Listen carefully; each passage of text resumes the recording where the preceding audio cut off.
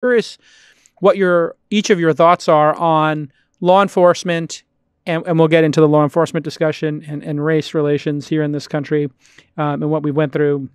We look, we we have been we have been uh, we've been arming our police force mistakenly like our military. And we've been doing it for, you know, decades now, and it makes no sense. Um, there was this crazy tweet I saw today. Maybe we can find AOC tweeted out where she, she found this announcement from some like long tail police department somewhere who basically got, um, a free, uh, armored truck carrier.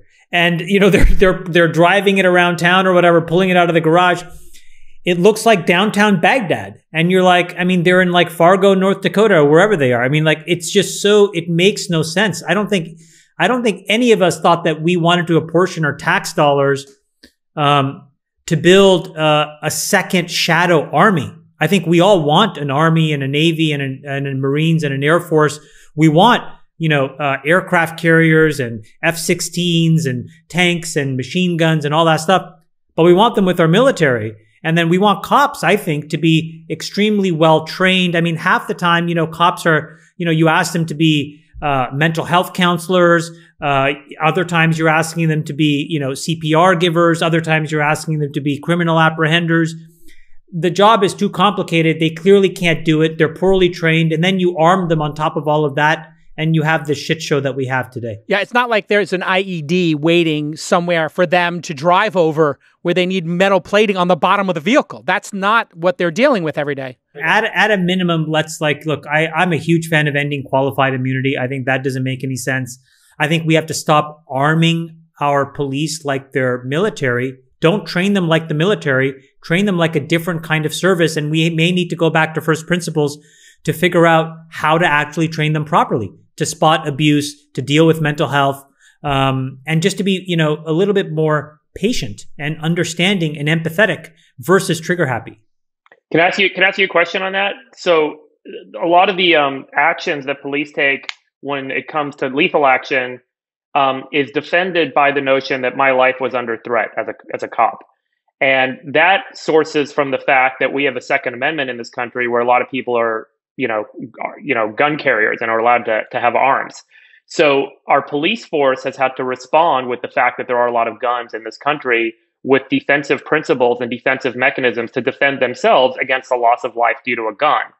Um, and that makes the United States really unique in terms of the, the circumstance versus if you look at the United Kingdom where they don't have a Second Amendment right to, to, to bear arms, the police aren't armed and the police behavior is significantly different. You can look at this in any country where there isn't a right to bear arms do we not have a fundamental problem in this country that stems from the fact that the police feel or can justify that they're always under threat of loss of life due to arms being out in the in the yeah the contra I think it's a fabulous question. The contra example i would say is if you look at switzerland where the per capita gun ownership is really high canada where per capita gun ownership is really high what i would tell you is there's a different kind of psychological training that police people go through before they're put on the streets and that is fundamentally different here. The job as is defined to them here is different than it is in Canada or Switzerland, where, you know, gun ownership levels are quite robust.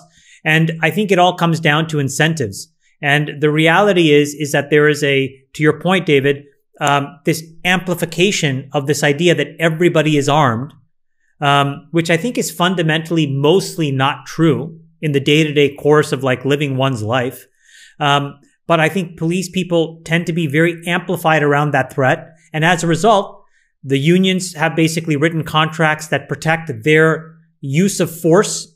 Um, the law is written in a way that protects their use of force. And so all of it comes from, to your point, a defensive posture of fear. Um, but if you actually tried to train these people differently, um, I think you'd have a different outcome because what I can tell you is the police in Canada do behave differently. They don't reach for their gun every second. it's an interest. It, I think there's a very interesting example, and I, I know we don't want to like just take one anecdotal incident and then, you know, make a, a big um, sweeping generalization with it. But if you look at the uh, gentleman in Atlanta who was shot in the back twice, Rashid uh, Brooks, Rayshard Brooks, Rayshard Brooks, Rayshard Brooks. Um, this example to me is so illustrative of the problem. They spent 40 minutes talking with this individual who was absolutely not a threat. They had frisked him. They knew he was not armed. He was intoxicated. He's in a drive through. Of all the ways you could have dealt with the situation, uh, and I come from a family of police officers, and uh, I can tell you a lot of stories about cops letting people go, obviously, white people with warnings.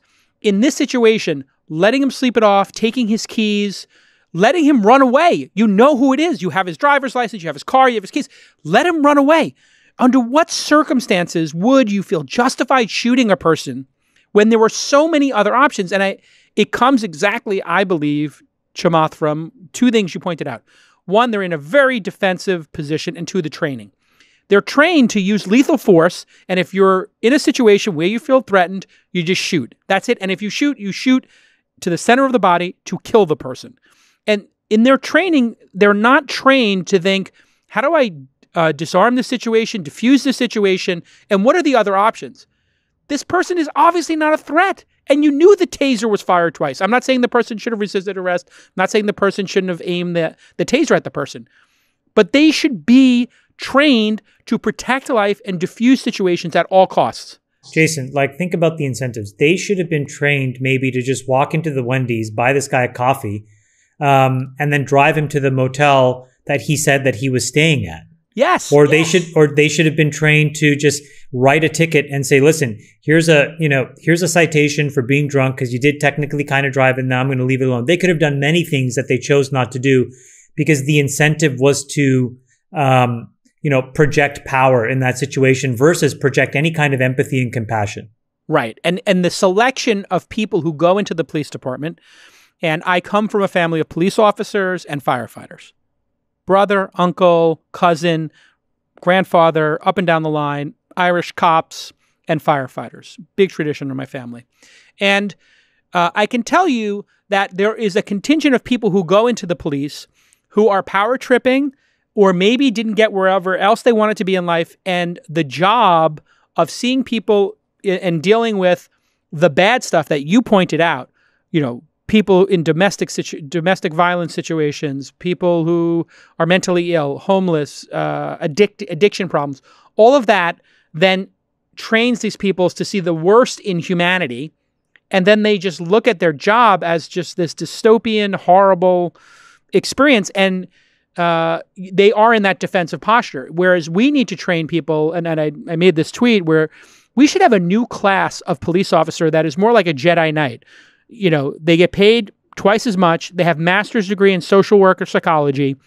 And when that call comes in for an emotionally disturbed person, uh, a person who's intoxicated or on drugs, a domestic violence situation, you don't want to send the average B cop to that. You want to send the Jedi. No, but Jason, make it even easier. Like when when you go to get a nine one one call and it's you know there could be it's it's it's somebody who's in sort of like mental distress or you're going to do a mental health check. Um, why don't you send a really well trained social worker? Absolutely. Um, and the reason is why don't we have a whole, you know, a whole force of social workers that we pay hundred thousand dollars a year? Absolutely, and and and th- this, that's what these police officers are making. And there is an argument to not have them armed.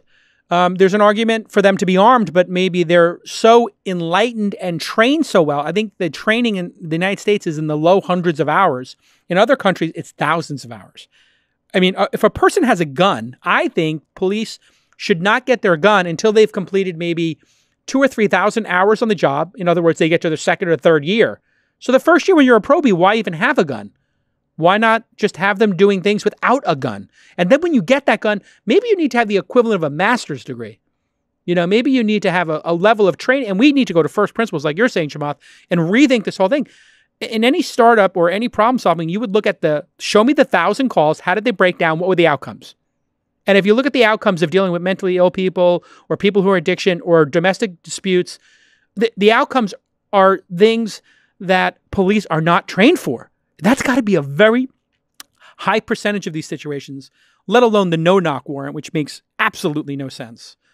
Yeah, uh, I mean, I think I think uh, there's there's just a lot of um, look, there's a lot of change coming. Um, I think that there's a lot of legislation afoot at every sort of level of government. Um, And I think the good news is that it's going to be hard um, for people to sit on their hands on this. I don't think it's going to be universally across the country, um, but I do think that you know people will then again um, self-select and want to live in places where you know sort of like the laws match their ideals, and uh, this is going to be an area of tremendous reform and change. Um, you know, it, it, what's interesting about all of this is like if you actually go back to the Republican ideology, it's interesting to me why Republicans aren't the first ones to try to embrace rewriting, you know, the union contracts and actually decreasing unionized power. Um, because that's sort of like has generally been a tentpole theme of Republican ideology. Um, but then as it gets applied to cops, I think they kind of just abdicate responsibility. So there's a lot of reasons where you could have bipartisan agreement on a bunch of these things. But again, I think we're, we're, we kind of like get caught up and we refuse to see the forest from the trees and want to fix these things. But, um, I suspect that a lot of these changes will happen just because they're so bloody obvious. And depending on your ideology, you can frame the same reason for completely different motives and get to the same answer. Yeah, nobody nobody wants this. Uh,